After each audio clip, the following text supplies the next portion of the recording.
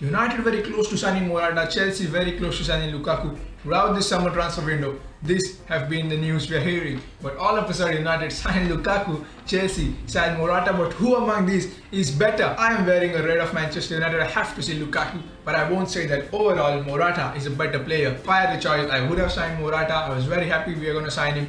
Not saying Lukaku is poor or anything, but Lukaku and many people criticizing his first touch and all Lad scored goals, and while I was saying he's better, Morata is a better overall player, Lukaku is a better striker, and that's what United need at the moment. Morata last 4 years, 40 goals, last 6 years, 51 goals.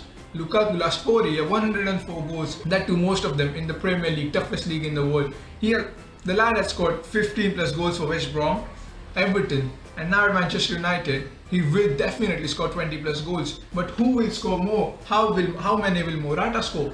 Next season is all gonna be about Lukaku and Morata. Each touch is gonna be analyzed, each pass is gonna be analyzed between the two sets of fans. And according to me, who's gonna have a better season is I don't think Chelsea will have a great season again. I don't think they will win the league because Champions League coming in and they use same players throughout last season.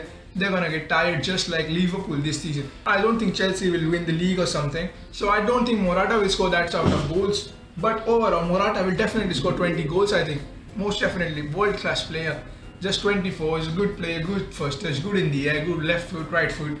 Passing is good as well, link up play is better than Lukaku. But Lukaku is a goal scorer, he scores goals and that's what he's brought for. So Lukaku, I think, will score 25.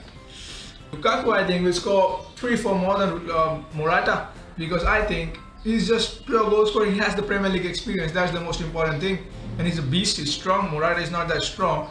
Lukaku is a beast and in the air, left foot, right foot, again brilliant. But link up in the first touch is where I a little bit worry about Lukaku, but that will definitely Jose knows that and has brought him, and he will definitely have a plan to improve on that.